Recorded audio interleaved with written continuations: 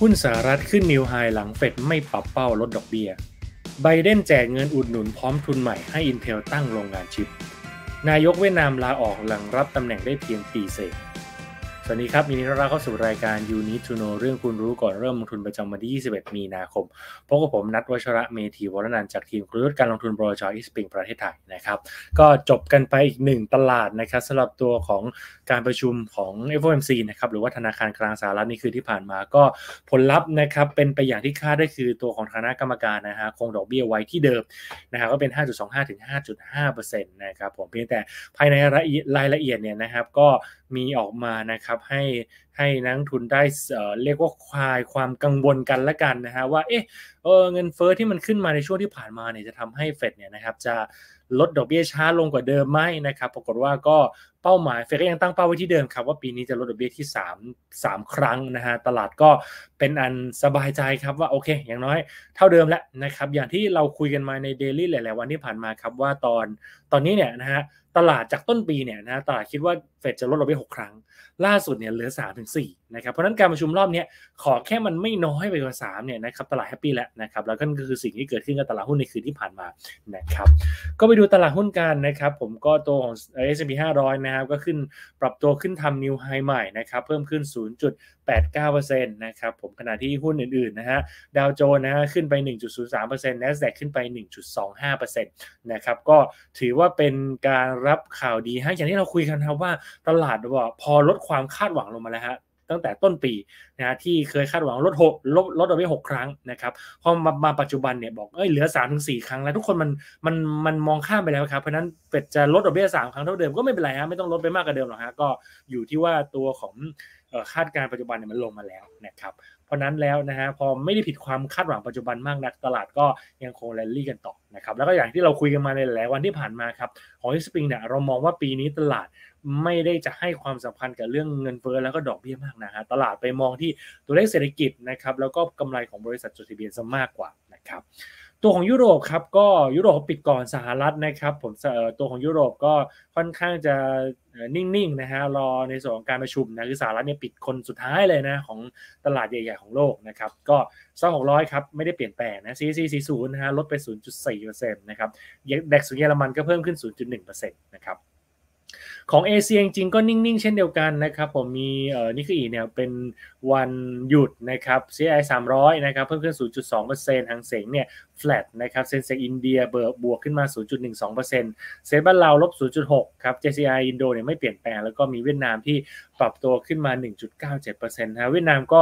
มี 2 ข่าวนะมีทั้งตัวของนายกลาออกนะฮะแล้วก็มีตัวของ กระทรวงการคลังเนี่ยเขาจะปรับนโยบายเกี่ยวกับตลาดหุ้นใหม่นะครับเดี๋ยววันนี้เล่าให้ฟังในรายละเอียดก็เลยเป็นเอ่อทำให้ตลาดหุ้นเวียดนามช่วงวันสองวันที่ผ่านมาก็ผันผวนนะครับแล้วก็เมื่อเมื่อวานนี้ก็ปรับตัวขึ้นมาได้นะครับตัวของอัตราผลตอบแทนพันธบัตรของสหรัฐครับ 2 ปีเนี่ยปรับตัวลดลง 9 basis point นะฮะลงมาอยู่ที่4 59%นะพันธบัตรสหรัฐ10 ปีนะครับ ลงมา 2 basis point เนี่ยอยู่ที่ 4.27%นะฮะก็พอลดดอกเบี้ยลดเท่าเดิมครับ ตัวของพันธบัตร2 ปีก็เลยยิวก็เลยปรับตัวลดลงนะฮะปรับตัวลดลงมานะครับเพื่อตอบรับข่าวจากที่หลาย ๆ วันก่อนหน้านี้ก็นักลงทุนกังวลนะว่าเฮ้ยจะลดดอกเบี้ยน้อยหรือเปล่านะฮะผมก็สรุปสุดท้ายแล้วก็ลดเท่าเดิมครับก็3ครั้งเท่าเดิมก็เป็นนันปรับนะตัวพันธบัตร2ปี ยิวพันธบัตร2ปีในตลาดก็ปรับตัวลงมาครับ มาดูตัวเลขเศรษฐกิจครับ เมื่อวานนี้นะครับก็มีตัว LPR นะฮะของจีน ซึ่งก็จะเป็นดอกเบี้ยอ้างอิงนะฮะของตัวของเงินกู้เอกชนนะครับกับเงินกู้บ้านนะฮะก็จีนไม่ลดเพิ่มครับ หลังจากที่เดือนที่แล้วเซอร์ไพรส์ลดไปแล้วนะฮะก็เดือนนี้ไม่ได้ลดเพิ่มครับ ก็คงไว้ที่เดิมนะครับมีตัวดอกเบี้ยของทางอินโดครับอินโดคงดอกเบี้ยไว้ที่6%เหมือนเดิมของอินโดคงไม่มีอะไรครับอินโดคงเป็นภาพที่อินโดอินเดียเนี่ยเป็น2ประเทศที่สบายๆคือเศรษฐกิจโอเค เงินเฟ้อคุมได้นะฮะแล้วก็ดอกเบี้ยจริงๆมี gap กับสหรัฐก็รอแค่สหรัฐลดดอกเบี้ยก็เดี๋ยวลดตามครับจะได้ไม่ทำให้ gap ระหว่างดอกเบี้ยนะฮะเมื่อเทียบกับสหรัฐเนี่ยมันมันมันมันมันแคบมากเกินไปนะครับ ก็มีสองสหรัฐครับที่คงดอกเบี้ยไว้ที่เดิมนะครับ แล้วก็เงิน export ครับส่งออกของญี่ปุ่นก็ดีกว่าที่คาดเช่นเดียวกันนะฮะดีที่ 7.8%แล้วจากที่ตลาดคาดว่า 5.3 จริงนะ 5.3%นะครับช่วงนี้ก็ญี่ปุ่นเนี่ยฉุดไม่ค่อยอยู่นะตัวเลขเศรษฐกิจมันมันมันมันมันโอเคนะมันผสมคืออันที่มันควรจะแย่เนี่ยมันก็ออกมากลางๆอันที่มันอันที่มันดีแล้วก็ดีสุดๆไปเลยนะครับผมนั่นก็เป็น sentiment ที่ที่ดีกับตลาดหุ้นญี่ปุ่นต่อนะฮะเช้านี้เปิดมาก็บวกค่อนข้างจะแรงครับก็ได้ปัจจัยบวกทั้งสหรัฐแบบ ไม่ได้เปลี่ยนแนวโน้มอะไรฮะก็ เหมือนเดิมนะครับ ไม่ได้ทำพลิกล็อกให้กับตลาดอะไร แล้วก็ได้รับแรงบวกจากเลข export ที่ดีด้วยนะก็เข้ามาช่วยหนุนเศรษฐกิจเพราะเป็นเป็นหนึ่งในตัวเลขสำคัญนะครับของของเศรษฐกิจญี่ปุ่นคล้ายๆบ้านเราครับที่เป็นตัวเลขเป็นประเทศส่งออก นะครับเอามาดูข่าวแรกกันนะครับ ผมสหรัฐนะฮะ S&P 500 ก็ขึ้นทำนิวไฮใหม่นะฮะหลังจากที่เมื่อคืนนี้นะครับผมตัวของเฟดก็ไม่ได้ปรับเป้าการประชุมเอ่อเอ่อเกี่ยวกับเรื่องดอกเบี้ยในปีนี้ออกนะฮะผมก็ในภาพภาพนี้นะคือตัวที่เรียกกันว่าเฟดดอทพอตนะครับอย่างที่เราเล่าให้ฟังในหลาย ๆ วันที่ผ่านมานะว่า มันจะเป็นตัวที่คณะกรรมการนะครับออกมาปักไว้ว่าเขาอยากจะเห็นดอกเบี้ยเท่าไหร่ จุดเหลืองๆนี่คือกรรมการแต่ละท่านนะที่บอกว่าให้เท่าไหร่นะครับ ส่วนค่า มีนนะฮะค่ามีเดียนนะครับที่เราดูกันคือสีเขียว สีเขียวคือค่าเฉลี่ยนั่นแหละนะค่ามัธยฐานนะครับที่เราใช้เป็นเส้นนะครับปรากฏว่าไอ้เส้นสีเขียวที่มันเป็นตัวค่าเฉลี่ยนะฮะของกรรมการเนี่ยนะครับของปี 24เนี่ยนะฮะยังอยู่ที่เดิมก็คือคาดหวังการลดดอกเบี้ยนะครับสามครั้งนะถึงแม้ว่าอาจจะบีบเข้ามาหน่อยนะถ้าไปดูของเดือนธันวาคมเนี่ยมันค่อนข้างจะ กระจายออกหน่อยนะฮะคือบางคนแบบ3บ้าง4บ้าง3บ้าง4บ้างนะครับก็มารอบนี้เนี่ยไปกระจุกกันที่2-3ถึงนะครับแต่เฉลี่ยแล้วยังอยู่ที่ 3 เยอะเออเยอะเหมือนเดิมนะครับผมก็เหมือนตลาดคณะกรรมการชิปขึ้นนิดนึงนะจากที่ 3 เป็นแบบส่วนใหญ่ 3 บางคน 4 ไปเป็นส่วนใหญ่ 3 บางคน2นะฮะก็ชิปขึ้นมานิดหนึ่งนะครับแต่สุดท้ายแล้วเฉลี่ยมันยังคง 3 อยู่นะครับเพราะนั้นแล้วตลาดก็สบายใจว่าโอเค อย่างน้อยๆ ยังคงลดดอกเบี้ยอยู่นะนะถึงแม้เงินเฟ้อจะสปาร์กขึ้นมาตัวเลขเศรษฐกิจจะไม่แย่มากแต่ยังไงดอกเบี้ยยังลดอยู่ครับที่สามครั้งเหมือนเดิมนะครับอันที่ไปปรับขึ้นเนี่ยนะครับจะเป็นของปี 25ครับแล้วก็ตัว long term นะคือ 25เนี่ยจากเดิมที่ตลาดคาดว่าน่าจะ เฟดดอทพอตรอบที่แล้วนะคิดว่าจะลดดอกเบี้ย4ครั้งนะก็ขึ้นมาเหลือแค่ 3 ครั้งนะครับก็จริงๆ เหมือนจะเป็นข่าวที่ไม่ดีครับเพราะว่าลดดอกเบี้ยน้อยลงในปีหน้านะครับแต่ก็อย่างที่นัดว่าครับว่าตลาดช่วงนี้ไม่ได้สนใจเลยนะฮะคือลดดอกเบี้ยน้อยลงก็ได้นะครับแต่ว่าขอให้เศรษฐกิจมันดีปรากฏว่ามันเป็นภาพนั้นเลยครับคือเฟดเนี่ยนะฮะดอกเบี้ยปี 24 ลด 3 ครั้งเท่าเดิม 25 จาก 4 เหลือจากลด 4 ครั้งกลายเป็นลด 3 ครั้งแต่เฟดปรับ คาดการตัวเลขเศรษฐกิจครับตัวเลข GDP ฮะก็จากปีนี้ 1.4 ขึ้นมาเป็น 2 2 2.3 2.4 นี่แหละนะครับ ก็ปรับ GDP ขึ้นทั้งแผงครับ คือเงินเฟ้อปรับคาดการทั้งเงินเฟ้อแล้วก็ GDP ขึ้นนะแต่ว่าเงินเฟ้อปรับขึ้นนิดเดียวนะขึ้นรู้สึกว่าจะจุด 1.2%นะที่ที่ออกมาเมื่อคืนนี้แล้วก็ที่ปรับขึ้นเยอะคือ GDP เพราะนั้นก็กลายเป็นว่าโอเค เงินเฟ้ออาจจะลงช้าแต่ก็ยังลงเข้าเป้า นะครับแต่ GDP ที่คิดว่าจะไม่ดีเนี่ยมันดีขึ้นมากๆนะครับเพราะมันเป็นพล็อตแบบเนี้ยนะครับมันก็ตกพล็อตเดียวกับที่ที่ที่มุมมอง Eastspring เรามองคือตลาดไม่แคร์แล้ว ดอกเบี้ยจะลดน้อยหรือจะไม่ลดเลยก็ได้แต่ขอให้ GDP มันดี แต่กลายเป็นว่าภาพที่มันออกมาเมื่อคืนนี้คือลดดอกเบี้ยปีนี้เท่าเดิม นะปีหน้าน้อยลงนิดนึงนะฮะแต่ GDP ดีขึ้นมากๆ เศรษฐกิจดีนั้นตลาดบอก happy ครับ ตัวเลขเศรษฐกิจดี ดอกเบี้ยไม่ต้องลงก็ได้นะฮะนี่คือในในนัยยะของภาพที่เกิดขึ้นเมื่อคืนที่ผ่านมานะครับ ส่วนจีประธานนอกจากนั้นก็จะมีเรื่องของตัวลดงบดุลนะครับผมโดยการที่ตัวของพวกการออกพันธบัตรอะไรพวกนี้นะครับของของทางทางทางเฟดหรือธนาคารกลางสหรัฐเนี่ยนะครับเขาก็ตัวของพาเวลก็ พูดไปในเชิงไม่ดีนะในเชิงของกิจก็คือบอกว่าก็จะยังคงลดงบดุลต่อไปเรื่อยๆนะนะฮะก็ยังไม่ยังไม่ลดสปีดนะฮะในการลดงบดุลก็ยังเอาเงินออกกันเอาเงินออกจากงบดุลตัวเองนี่แหละนะฮะในในในเอาเงินกึกกลับเข้าไปนะครับ ผมก็ตัวของ ตัวของการลงทุนยังอยู่ในระดับเท่าเดิมนะครับไม่ได้ชะลอลงมานะคือถ้าเกิดคิดว่าโอเค ตัวของการลงทุนหรือที่เราเรียกว่า QT เนี่ยนะครับถ้าเขาอยากจะผ่อนคลายเขาต้องลดการทำ QT ลงถูกไหมแล้วก็ไปทำ QE นะคืออัดฉีดเงินเข้าในตลาดนะเก็บนะเก็บพันธบัตรเข้าให้เข้าสู่งบดุลแล้วเอาเงินออกไป แต่ตอนนี้เฟดเขาทำคือเขาทำ QT คือเอาเงินออกจากตลาด แล้วเอาพันธบัตรเอาไว้นะครับผมแต่ว่าก็ยังทำในสปีดเท่าเดิมนะไม่ชะลอตัวลงจริงก็เป็นข่าวไม่ดีเหมือนกันนะ แต่อย่างที่ว่าฮะตลาดบอกถ้าตัวเลขเศรษฐกิจดีฮะจะทำอะไรก็ทำไปเถอะนะฮะนี่คือสิ่งที่เกิดขึ้นเมื่อคืนที่ผ่านมานะครับก็สำหรับมุมมองของทางอีสปริงเราเราก็มองว่าการประชุมเมื่อคืนที่ผ่านมาเป็นอย่างที่เราคาดเลยฮะก็คือ ตลาดไม่ได้สนใจครับ ขอแค่เฟดเอาเท่าเดิมนะฮะแล้วจะลดดอกเบี้ยน้อยลงก็ได้ ถ้าปรับคาดการ GDP ขึ้นอย่างเมื่อคืนที่ผ่านมาตลาดก็บอกโอเคเลย GDP ขึ้นนะโอเคเศรษฐกิจดี นะครับดอกเบี้ยไม่ลดก็ได้ไม่เป็นไรนะครับประเด็นคือเศรษฐกิจดีขึ้นกว่าเดิมด้วยแล้วดอกเบี้ยยังลดเท่าเดิมนะครับในปีนี้ด้วยตลาดก็ค่อนข้าง happy เพราะนั้นเราก็มองว่าตัวของหุ้นสหรัฐก็อย่างน้อยๆยังสามารถน่าจะทำ new high ต่อไปได้อีกสักระยะหนึ่งนะครับสองสามเดือนข้างหน้า น่าจะยังมี sentiment หนุนอยู่นะครับทีนี้ครึ่งปีหลังอาจจะตอนกลางปีอาจจะต้องมารีวิวอีกทีว่า ยังพอจะไปต่อไหวไหมปัจจัยหนุนต่างๆเนี่ยมันยังพอจะ support ตัวของระดับราคาที่มันสูงไหมก็อย่างน้อยสองสามเดือนข้างหน้าเราคิดว่าน่าจะยังพอจะไปต่อได้ ครับนี่จะเป็นตัวของหุ้นสหรัฐครับส่วนตัวที่เราเชียร์ก็จะเป็นพวกหุ้นเทคโนโลยีครับผมแล้วก็อย่างอย่างตัวของ ES US Tech นะครับหรือว่าถ้าใครไม่อยากจะเสี่ยงมากซิ่งมากไป tech pure เนี่ยนะครับก็ใช้เป็นตัวของ TMB US Blue Chip นะก็จะเป็นหุ้นสหรัฐใหญ่ๆนะครับที่ผสมหลาย sector หน่อยนะครับก็เป็น 2 กองทุนแนะนำที่เรามองว่าสามารถเล่นต่อได้ใน น่าจะยังปรับตัวขึ้นต่อนะครับในช่วงนี้ ครับพูดถึงหุ้นเทคกันแล้วนะครับ ผมมาดูตัวของข่าวเทคโนโลยีกันหน่อยนะฮะล่าสุดเมื่อคืนนี้นะฮะก็เรียกเสียงสักหน่อยนะครับคุณไบเดนนะฮะเรียกเสียงเลือกตั้งสักนิดหนึ่งนะคุณไบเดนก็แจกเงินนะครับ ทั้งแจกเงินทั้งให้เงินทุนใหม่นะฮะกับ Intel นะครับผมซึ่งก็หลังจากที่ Intel เนี่ยนะฮะก็ทำตามมันจะมีตัวตัวพรบนะครับเป็นชิปแอคนะครับที่คุณไบเดนออกมาปีปีสัก ปีสองปีที่แล้วนะครับผมที่เป็นก็เป็นตัวพรบที่สนับสนุนการทำชิปในประเทศ แล้วก็ไปแบนพวกบริษัทจีนที่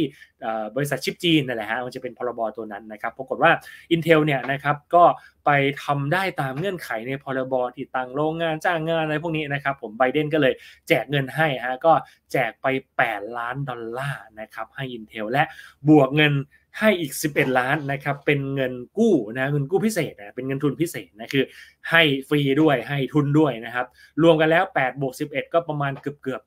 20 ล้านดอลลาร์นะฮะก็เป็นโอ้เป็นเป็นร้อยล้านไทยนะนะฮะเป็นร้อยล้านไทยนะครับให้กับตัวของบริษัท Intel เพื่อไปตั้งชิปเลยนะครับผมเพื่อไปตั้งโรงงานชิปเพิ่มนะครับขยายกิจการเกี่ยวกับชิปในในในประเทศฮะก็เป็นข่าวดีกับทั้งอุตสาหกรรมชิป อุตสาหกรรมเทคโนโลยีในสหรัฐนะครับก็รับผลบวกกันด้วยนะฮะเฟด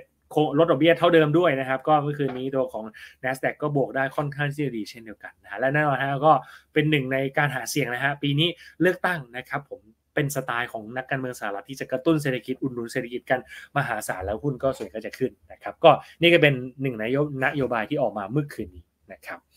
ข่าวสุดท้ายประจำวันนี้นะฮะเมื่อคืนที่ติดกันไว้นะครับที่เวียดนามครับเมื่อวานนี้บวกขึ้นไป